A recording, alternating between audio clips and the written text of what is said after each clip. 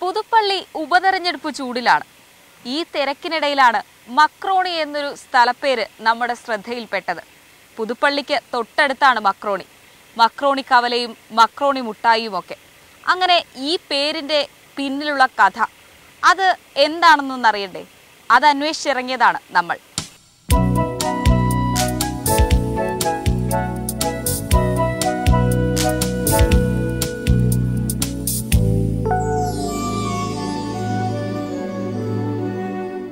ചേട്ടാ ഈ മക്രോണി എന്ന സ്ഥലപ്പേര് അതെങ്ങനെ വന്നതാണ്? മക്രോണി എന്ന പറയുന്ന സ്ഥലപ്പേര് ഏകദേശം ആയിരത്തി തൊള്ളായിരത്തി അമ്പത്തി ഏഴ് ഭക്ഷ്യക്ഷാമം വളരെ രൂക്ഷമായിരുന്നൊരു കാലഘട്ടമായിരുന്നു. അരി കിട്ടാനില്ലായിരുന്നു. അങ്ങനെ ആ സമയത്ത് അരി കിട്ടാനും സർക്കാർ ആകെ അരിക്ക് വേണ്ടി വളരെ ബുദ്ധിമുട്ടി. അപ്പോൾ സർക്കാർ രൂപകൽപ്പന ചെയ്തിട്ട് സാധാരണ ജനങ്ങൾക്ക് വേണ്ടി ഭക്ഷണത്തിന് വേണ്ടി ഉണ്ടാക്കിക്കൊണ്ട് വന്ന ഒരു ഒരു മെയ്സ് പോലെ ഒരു പൊടിയായിരുന്നു ഇത്. അതിനോടുകൂടി ഗോതമ്പ് പോലെ എന്തൊക്കെ സാധനങ്ങളുണ്ടായിരുന്നു. അത് ഇവിടെ കൊണ്ടുവന്നിട്ട് ഈ മക്രോണി തോടിന്റെ അവിടെ വെച്ച് അന്ന് മക്രോണി പാലമില്ല. മക്രോണി ഈ ഒരു തടി ഇട്ടിട്ട് അതേ കൂടെ കയറി ഇറങ്ങിയ ആൾക്കാർ നടന്നുകൊണ്ടിരുന്നത്. വെള്ളം പൊങ്ങിക്കഴിഞ്ഞാൽ അതും ബുദ്ധിമുട്ടാണ്. കാരണം വെള്ളം മുങ്ങി റോഡ് മുഴുവൻ വെള്ളം കയറുന്ന ഒരു കാലഘട്ടമാണ്.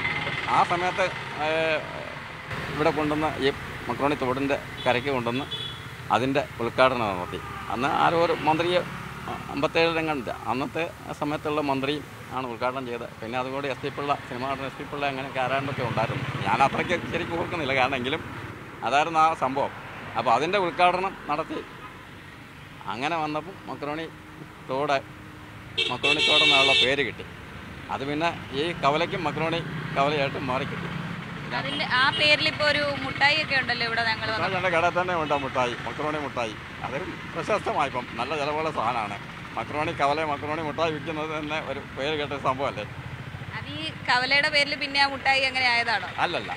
ഇതിങ്ങനെ ആ- എന്തോ സാധനം ഉപയോഗിച്ച് തന്നെ ഈ മക്രോണി മുട്ടായി ഉണ്ടാക്കാൻ. ഇവിടെ ഇപ്പം മിക്സ് ചെയ്ത് കടലയൊക്കെ മിക്സ് ചെയ്ത് അതാണ് ഉണ്ടാക്കുന്നത്. നല്ല ടേസ്റ്റുള്ള സാധനം. അതുകൊണ്ട് അത് ചിലവുണ്ട്. അത് അന്വേഷിച്ച് ആളുകൾ വരാറുണ്ടോ?